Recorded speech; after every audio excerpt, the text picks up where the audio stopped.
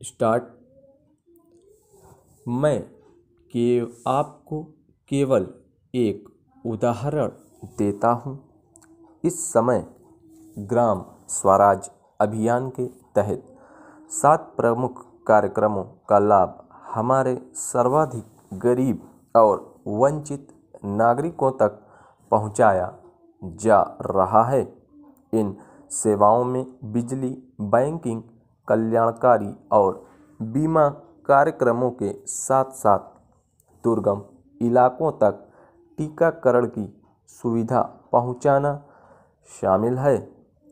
ग्राम स्वराज अभियान के दायरे में उन 117 आकांक्षी जिलों को भी शामिल कर लिया गया है, जो आज़ादी के सात दशक बाद भी हमारी विकास यात्रा में पीछा रह गए हैं। लेकिन इस सब का लाभ तभी होगा जब इस समझौते पर हस्ताक्षर हो जाएँ और उस पर ईमानदारी से अमल किया जाए। इससे भी अधिक महत्व की बात तो यह है कि मोर्चे के कार्यकर्ता ईमानदारी से अपने हथियार डालकर राष्ट्रीय धारा में सम्मिलित हो जाएँ। यह इसलिए कहना पड़ रहा है कि जिन लोगों को हथियार उठाकर लोगों की हत्या करने का चस्का लग जाता है, वह आसानी से नहीं छूटा करता ऐसा एक बार नहीं, अनेक बार हमारे सामने आया है। इससे हमेशा ही सबके सामने कठिनाइयाँ उपस्थित हो जाती हैं। उपकुलपति महोदया जी, भारतीय परंपरा में दरिद्र नारायण की सेवा को सबसे अच्छा काम कहा गया है। भगवान बुद्ध ने भी कहा था कि अभी त्वरित कल्याणे, अर्थात कल्याणकारी काम सदैव तत्परता से करना चाहिए। मुझे विश्वास है कि हम सभी भारतवासी, समाज और देश के कल्याण के लिए तत्परता के साथ अपना योगदान देते रहेंगे।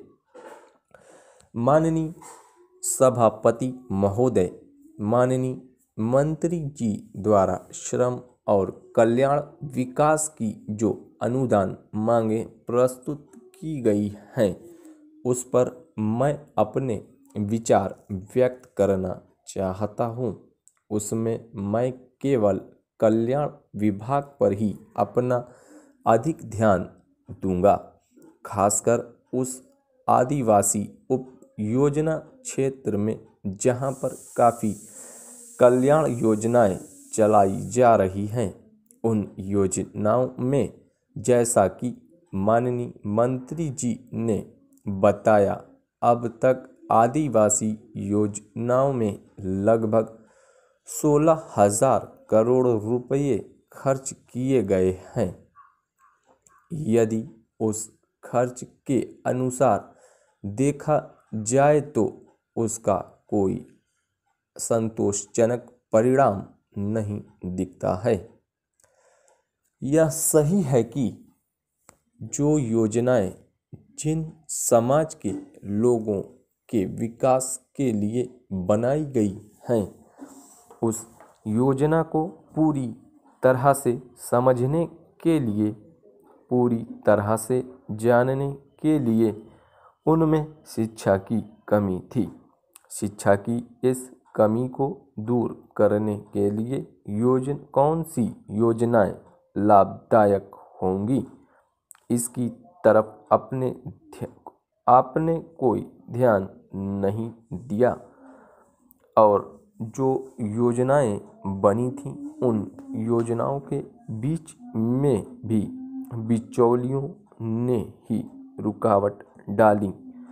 और इन योजनाओं में जिस ढंग से लाभ मिलना चाहिए था, उस ढंग से इसमें लाभ नहीं मिल पाया। धन्यवाद।